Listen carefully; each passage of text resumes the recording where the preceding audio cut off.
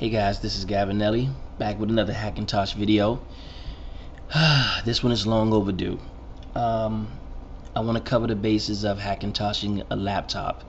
Um, I notice a lot of people don't give like really good tips on how to do this or go about this with zero mistakes. So here's my tips. Uh, as you see in the scrolling pictures, I've tested a few laptops and I've gotten a few to work. Some are limited, some are not. Some just don't work at all. Uh, one of the most important things you need to focus on is getting you a laptop with a supported GPU. And the only one off the top of my head I can think of is the X3100, the Intel X3100. Uh, I've also noticed that most laptops have a high success rate with onboard uh, uh, NVIDIA chips, and there's quite a few with ATI uh, GPUs or video chips. So anyway, I found this old video to show you uh, what I had to do because if you just go out there and just grab a laptop not knowing what's going to happen, you're going to end up doing what I did in this video. So anyway, this is an unreleased video. This video is about uh, going on two years old now. So here we go. Alright, here we go again with another Hackintosh video. First and foremost, I want to tell you guys I'm sorry I took so long to bring you guys another video. But uh, hopefully you like this one. This is uh, my treat to you. Um, first things first, I've re relocated in a completely different city and state. So I've been moving and trying to get settled in my new home. Um, the first thing I did once I touched down here is uh, I went out and bought a laptop to Hackintosh. The problem with my uh, previous laptop I had, which was a which was a Hackintosh, was um, it was an AMD. It had an AMD processor in it. It was the Dell 15, no Dell, what is it, Inspiron 1501, and um, it was cool until I got on the Amtrak one time, and I noticed that a couple people around me had MacBooks. So you know how us Hackintosh users are. We try to show off our our um, our our, uh, our prize.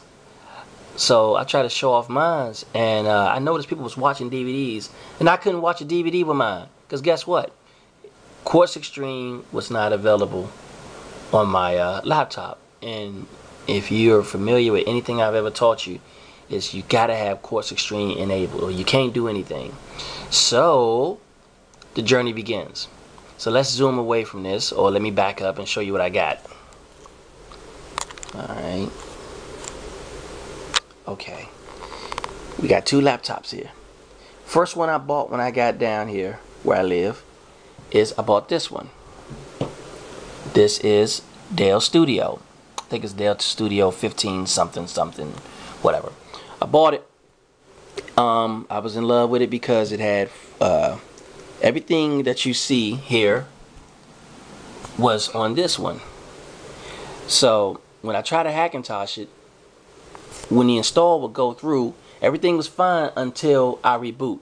And I, it just kept having panics. Look at me. I look good, don't I? Hee hee. So anyway, it kept crashing. So I got fed up and went and got another one.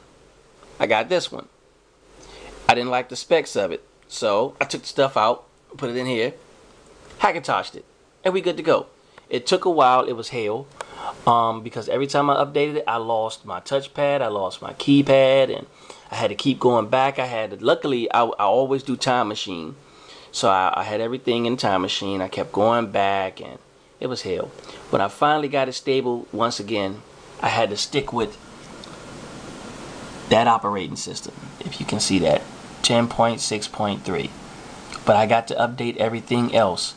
Um, everything works fine wireless ethernet works um, these little buttons here work.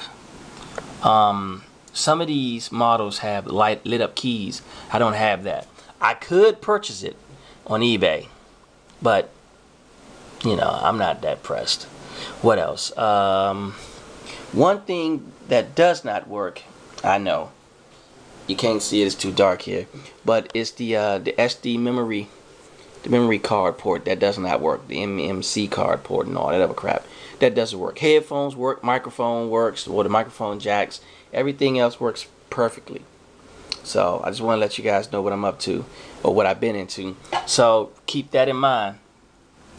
This works good. I have Quartz Extreme. Um, let's see.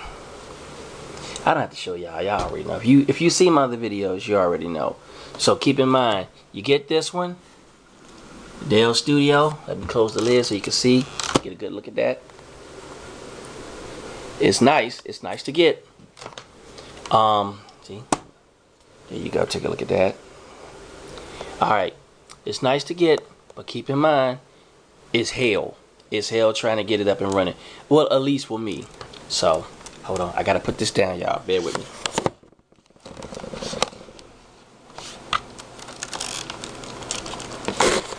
Okay. So, keep that in mind. If you ever, you know, get one of these Dell, two of these Dell machines and one is better than the other, in some cases, you can uh, swap parts, swap processors. Uh, back in the day, you used to couldn't do that, so I was amazed. I was definitely amazed when I did it. So, just letting you guys know what you can do. If you have any questions, please feel free to ask. So there you have it. The main tip is make sure your GPU is supported in your laptop. So don't just go out there and uh, spontaneously go and purchase a laptop just to uh, to build a Hackintosh. Well, not build, but Hackintosh it. Um, Google your ass off. You know, plan properly, just like you would do any other Hackintosh, and go out there and get one.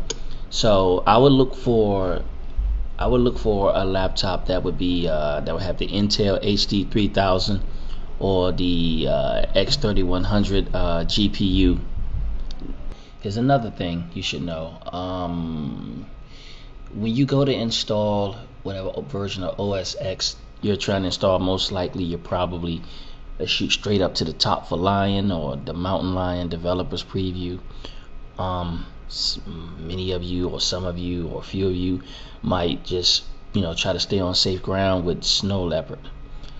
Um, sometimes the installation doesn't go well, and you need a different type of bootloader. You can head on over to Tony Mac, and he has a uh, he has uh, bootloaders like iBoot and RBoot, and uh, one of those two I think have a laptop edition, exclusively for laptops. So always uh, check and see if you know you might have to downgrade or upgrade your firmware for your BIOS in your laptop. Sometimes that you know uh, uh uh, unsupported uh, BIOS or or what have you might keep your installation from going. So that's another tip you might want to follow. Um, if you got an old laptop just laying around the house, like uh like my HP NC 6000, that's pretty old. That is a Pentium M.